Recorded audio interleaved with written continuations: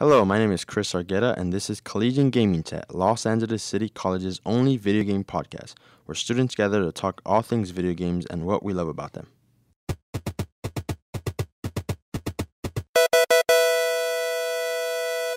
I am here with Damian Hosea. Hello. Leonardo Young, hello. Kayla Asher Hewitt. Hi. And today's topic, we're going to be talking about 2019. To start off, I think we should talk about big games so far that have come out. And in my opinion, those big games are Kingdom Hearts 3, Resident Evil 2, and Anthem. So let's start with the first one, Kingdom Hearts 3. What do we think about Kingdom Hearts 3? First of all, Kingdom Hearts 3 was a masterpiece, in my opinion. Mm. It was an awesome game. Uh, you can tell that Square Enix did their research. They got they hit the nail on the head with all the Disney and Pixar characters. So uh, that's personally how I feel about Kingdom Hearts. Kingdom Hearts with me, I like Damian said. I thought I also thought it was a masterpiece. All the worlds, even though they seem not as connected, they all brought in a, a singular story to bring what Kingdom Hearts really is. And even if you don't understand the story, there's still some joy to playing it. Kingdom Hearts fans, Square Enix fans, or even Disney fans or Pixar fans can all enjoy it um, in one way. What I like about Kingdom Hearts is the story so convoluted and makes so little sense when laid out. You can jump into any game and just start. And I think that makes it a really accessible franchise. And I think Kingdom Hearts 3 follows in that. You don't have to know what happened in Birth by Sleep or 365 or 2 Days. And honestly, if you play those games, you still don't know what happened in them. But Kingdom Hearts 3 was really sweet. I think it states its ethos of at its core being like a game for children. Yeah. And mm-hmm. I like it. Yeah, it did bring out the the heart of like if you like Disney movies and Pixar movies, then you can honestly like it feels like you actually playing the movie. You know, it's like you it, it pulls you right into the into the scene. So it's like that's what made the game a masterpiece in my opinion. You know. I, I'm actually of the opposite opinion of you guys. I thought it was like super underwhelming, disappointed, sad. But I love I love Disney like you know stuff. I love it. Like so mm-hmm. every time I got to it, I was very excited. But man, could've overall, I was like lot of- honestly, as I kept playing it, my enjoyment of it just kept lowering and lowering and lowering. I'm like, Well, I'm dying to please hear- let this finish. I'm dying to hear why. Please let this finish. Yes. really Okay. So our dying. second big game is Resident Evil 2 remake. Has eh. anyone played that? Yeah. Kayla, what did you think about it? I loved it. I love Resident Evil. I have always loved that series. So when they said they were remaking 2, which to me was one of the best Resident Evil games, I was so hyped. And I think it really lives up. It's not just a remake. They added so much new stuff. It's pretty much almost like a new standalone game.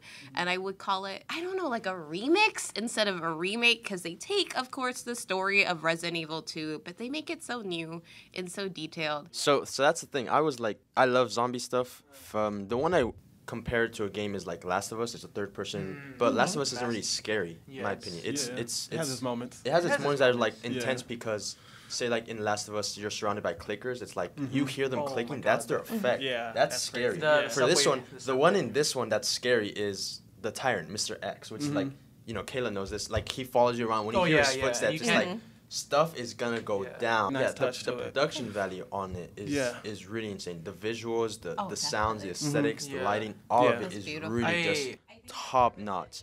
Like having not played the original Resident Evil 2 is that it's short. The time clock says I beat the Chris's story in eight hours, Mm-hmm. and I enjoyed every second of Resident Evil 2. Oh, I was so run. scared. It was it's a it's a really must play master. It's It it's is- a quick playthrough, but what I've heard and what I've seen from my friend, my friend's on his like fifth playthrough right now on the hardest difficulty apparently, and he's 100%ing the game, so it has a lot of replayability. And he's still on it in a game that came out like what a couple weeks ago. So that was Switch. the two big January games. There's some other small stuff. Um, for Switch, they re-released uh, Super Mario Deluxe U. Mm-hmm. For March, the big games I can think of are uh, Metro Exodus, Anthem. All right. Okay. So I have so much thoughts of this. Okay. Go ahead. So, Anthem, a game made by BioWare but produced or published by EA. Gameplay wise, you'll have the funnest time ever. The flying through the world, the combat, and overall controls just are just really fluid. You'll you won't have a hard time uh, flying because they made it really simple. You legit press one button, you fly. You press another button, you hover. You press another button, you jump. A lot of the, it's it's a shooter looter, so it focuses more on end game loot or uh, post game. That's the good side.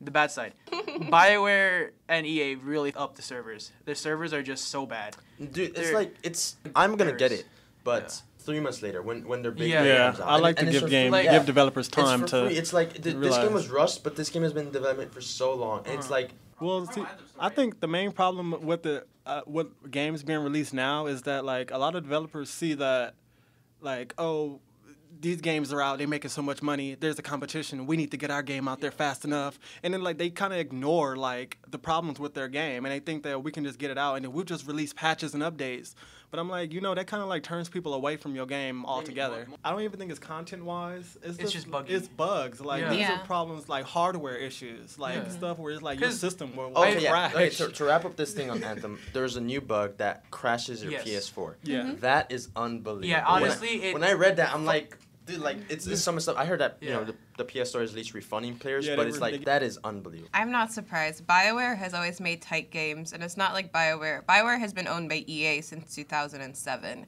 Final topic is the in March we have two big games: Devil May Cry 5 and Sekiro: Shadows Die Twice. I want to talk about Devil May Cry really quickly. What do you guys think about it? Are you guys gonna get this like day one? I already pre-ordered it. I I'm not I already gonna me, it. me and my No. me and my friend pre-ordered them good games though. Like them games that we're waiting for. Like we already got Sekiro on our on our list. Okay. So my, my thing with Shadow uh, with Shadows Dies Twice is that it has the fundamentals of all the Dark Souls games, which I'm a I'm a Souls veteran player. I've played Dark Souls 1, Dark Souls 2, Dark Souls 3, Bloodborne, and I play a little bit of Demon Souls.